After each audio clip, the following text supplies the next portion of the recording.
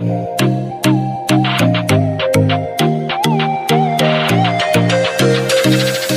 عليكم ورحمة الله وبركاته. معكم أخوكم حازم من قناة المنحة التركية 2021 ومع فيديو جديد من سلسلة فيديوهات المنحة التركية. رح نتكلم اليوم عن كيفية ترتيب الجامعات في ترجيحك في طلبك في المنحة وما هي الأكثر مناطق قبولا أو ما هي ممكن المناطق اللي عم تقبل أكثر ناس في متقدمين للمنحة خلونا ناخذ أول شيء بعض المعلومات. ترتيب الجامعات ما في أي حد بيضمن لك القبول؟ الأمر الثاني ما تخلوا حد يملي عنكم الجامعات اطلاقا؟ أنتم تشوفوا كيف ترتبوها بأنفسكم حسب ممكن نعطيكم طريقة توا.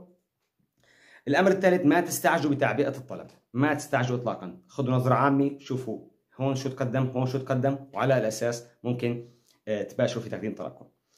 يا جماعة في أربع محددات رئيسيه نحن شفناها نتيجة خبرتنا سابقا من عام 2013 إلى الآن من أشخاص ممكن متابعة أشخاص مقبولين من تجربتنا الشخصية. أربع أشياء أساسية بتحدد قوة طلبك وممكن تحدد على اساسها الجامعات. أول شيء المعدل معدلك. الأمر الثاني تخصصك اللي أنت عم تدرسيه اللي شهادتك تخرجت منه اللي أخذت شهادتك منه واللي حتقدم عليه. الأمر الآخر هو أنشطتك الأنشطة التطوعية شهادات الخبرة شهادات اللغة وما شابه هي الأمر الثالث الأمر الرابع الأخير هو خطاب وهو خطاب النوايا اللي حكينا عنه في الفيديو السابق كيف هاي الأمور الأربعة بتلعب دور بترجيحاتنا وكيف ممكن تقوي طلبنا وكيف ممكن على أساسها ناخذ ترتيب الجامعات. أول شيء طبعا خلينا نحكي إنه عندنا أربع أشياء ممكن أول شيء المعدل أنت كيف معدلك؟ معدلك من 100 كم؟ هل معدلك بيأهلك للشيء اللي انت انت طامح له؟ مثلا انت معدلك الآن توا 91 أو 92 من 100 هذا المعدل ممكن يدخلك تسجل على الطب لكن هل هو منافس للطب في ظل التنافس الشديد اللي فيه آلاف الطلبات على الطب؟ ممكن الناس 99.9 ممكن 5 أو ما شابه ممكن 98 أو ما شابه. لكن لو جيت قارنت طبعا ممكن أنت حتى يكون طموحك ممكن طموحك طب لكن آه، ال 91 رغم أنه سجلك على الطب لكن لو جيت قارنت بتخصصات الهندسي هو معدل منافس ومنافس قوي. اذا هذا المقصود في المعدل أن تختار الجامعة حسب معدلك. الأمر الثاني التخصص اللي أنت دارس فيه. آه الأمر الثاني طبعا تخصص مثل ما حكيت من شوي آه هل المعدل بيأهلك التخصص الطب أو هندسة وما شابه الأمر اللي أنا بحكي فيه على التخصص هل تخصصك الدقيق اللي أنت خرجت منه موجود في المنحة موجود بحرفيته موجود في المنحة أو لا. إذا موجود أوكي اقدم عليه. مش موجود حاول تاخذ تخصص قريب جدا من من آه, آه، من آه من شهادتك اللي أنت أخذها. ما تاخذ أشياء بعيدة. مثلا أنت مش مثلا متخرج اقتصاد تروح تقدم مثلا لغة إنجليزية أو ما شابه. لا يكون تخصصك ضمن يعني تختار ترجيحات وجامعات قريبة جدا من تخصصك. الامر الآخر الأنشطة التطوعية اللي أنت أخذها في أي مجال تلعب دور؟ يعني ممكن عندك أكثر مجال. أكثر انشطتك التطوعيه شهاداتك وخبرتك وين بتصب في أي مجال؟ على أساسه خذ الجامعات ورتب على هذا الأساس. الأمر الرابع خطاب النوايا. أنت خطاب النوايا تاعك اللي كتبته هل لغتك سليمة جدا؟ هل هي مقنعة؟ وفي أي مجال أنت كاتبه عليه؟ آه، لأنه خطاب النوايا قوي وقوي جدا وبيأثر كثير على على آه، قبولك. لو جيت انت رتبت هاي أربع خيارات ممكن تاخذ بالمية 25 25 25 جيت رتبت أخذت مثلا من 25 معد... آه، مجموع الكامل وليكن طلع معك 75% رجحت أنت حسب الترتيبات اللي أنا حكيتها من شوي. طلع مثلا معدلك معدل طلبك عن بالمقارنة هاي الأربع تخصصات أو أربع آه، خيارات أو أربع بنود طلع معك 75% لا ممكن تبحث في آه، جوجل أو تبحث حتى عنا بالجروب.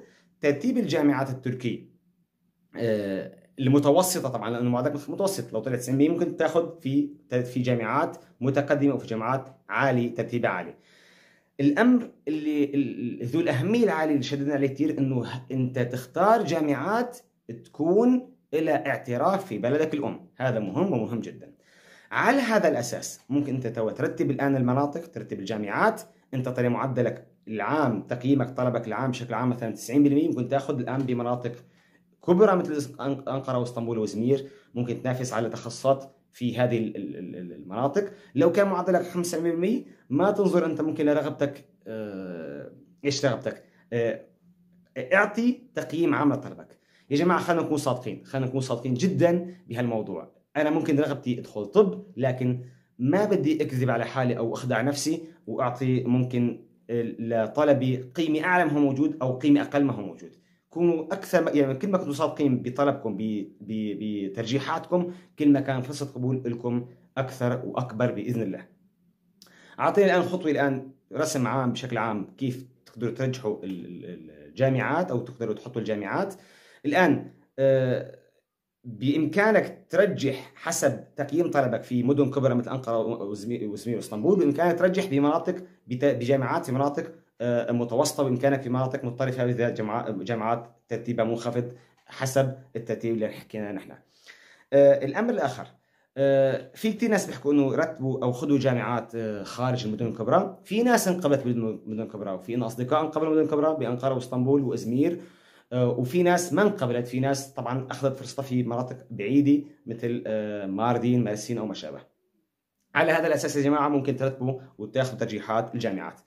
آه، أكثر المناطق قبولا في السنوات الأخيرة كانت آه، في عندنا قونيا آه، في عندنا قيصري سكاريا وماردين إسكي شهير ومارسين. وطبعا هذا العد ليس على سبيل الحصر بل هو على سبيل المثال.